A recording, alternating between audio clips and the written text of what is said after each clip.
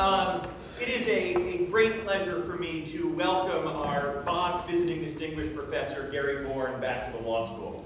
Uh, it is not an exaggeration nor a use of superlatives to say that Gary is by far the world's leading expert in international arbitration.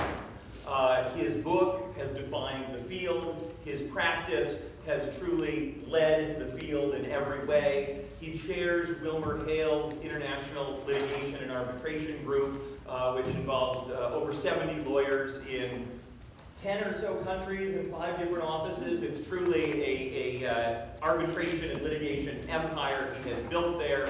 But perhaps more importantly, he is someone who thinks extraordinarily deeply about the consequences, the structures, and the implications of choices in litigation and arbitration, uh, of about how uh, it is practiced and about how international litigation and arbitration fits within and interacts with domestic systems around the world.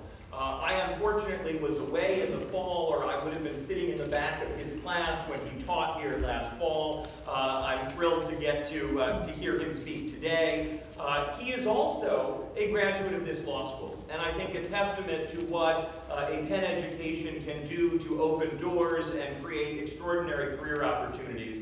Um, so uh, I, I, thank him for being uh, a part of the Penn community as an alum uh, and now part of our uh, broader faculty uh, back as a visiting professor.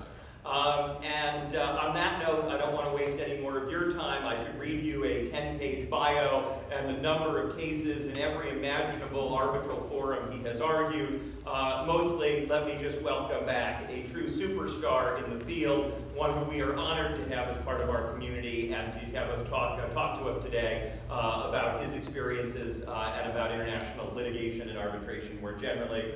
Gary, the floor is yours. Thanks for being here and welcome home.